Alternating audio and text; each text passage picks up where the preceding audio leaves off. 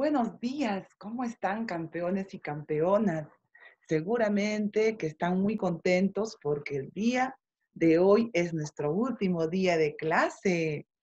¿No es así? Mañana ya es sábado, domingo, para que vean nuevamente puedan, puedan descansar y pasar bonitos tiempos en casa con papá y mamá.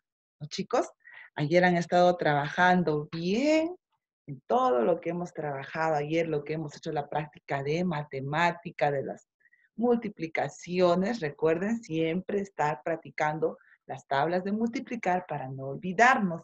Y también hemos visto un poquito acerca de lo que es la fábula en comunicación.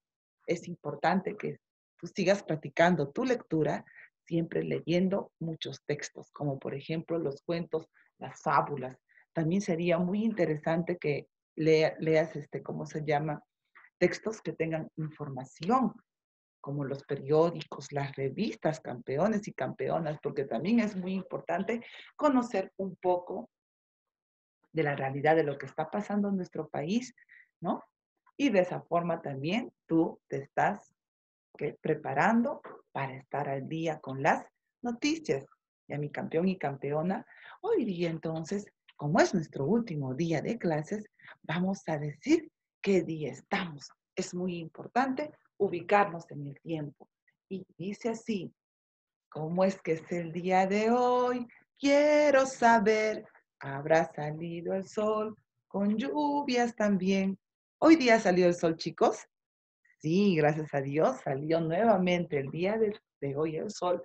¿Para qué? Para que nos siga dando su calorcito y todo lo que necesita nuestro cuerpo, no solamente nosotros, también las plantas, ¿no es así? Al igual que también los animales necesitan de qué? De este sol. Entonces, el día de hoy, ¿qué fecha es? Hoy estamos 14 de agosto del 2020, chicos. Ya estamos, ya, miren, los días están pasando rápido.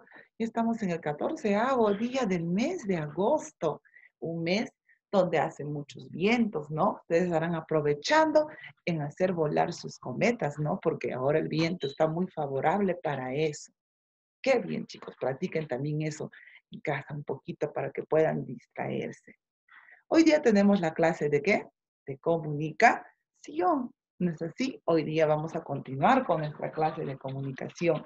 Y para eso, para el día de hoy, vamos a hacer un poquito de ortografía, chicos es muy importante que ustedes tengan en cuenta esta regla de ortografía, porque la ortografía va a hacer que nos, que, nos ayude a mejorar en nuestra escritura, chicos. Nos va a ayudar a aplicar ciertas reglas para que no tener errores ortográficos. Entonces, hoy vamos a empezar con estas dos primeras reglas. Hoy día vamos a conocer el uso del M, P, y del MB.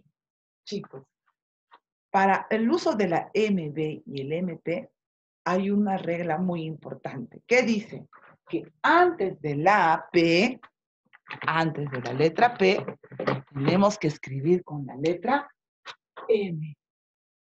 ¿Está bien? La M tiene que estar antes de quién? De la B y de la P. No se olviden eso. Y para eso hay, una, hay un texto que les estoy dando en las hojas de actividad y también algunos ejercicios de práctica. Por ejemplo, vamos a escribir la palabra combate. ¿Ya? Combate.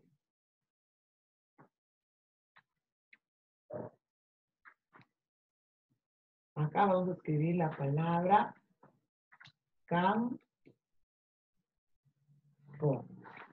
te estás dando cuenta, mira, aquí está la D. ¿Y con qué se escribe antes de la D? Con M. Acá también, mira, está la P. Y antes de la P, ¿con qué se escribe? Con M. Es importante que sepas tú estas reglas para que de esa forma tú puedas escribir bien. ¿Ya? A ver, ¿qué otras palabras también tenemos a ver con MB? A ver, chicos sería cambio. Otra. Otra. Otra vez, chicos, ayúdenme a pensar palabritas. Es muy importante saber eso también. ¿Ya? ¿Mm? Computadora, claro. Computadora.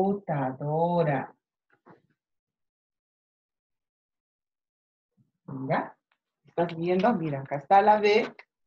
Y antes de la B, ¿con qué se escribe? Con M. Acá también está la P. Y antes de la P, ¿con qué se escribe? Con M. ¿Ya? Es muy importante, pues, que sepas esto tú, campeón y campeona.